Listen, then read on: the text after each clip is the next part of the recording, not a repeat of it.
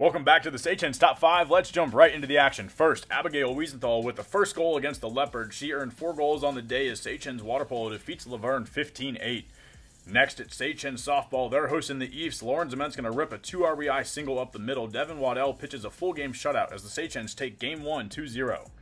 Now over to lacrosse, a minute and a half into the contest against Kowloon. Soshi Henderson is going to go behind the back for the goal. Sagehens coast to a 23-1 road victory against the Regals.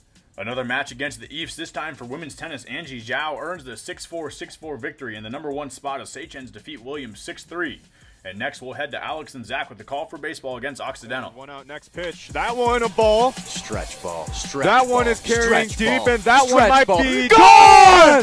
Tanner DeGrazia. First career home run is a three-run bomb to tie up the ball game. No way. What did I say? The big man's got strength. The fresh.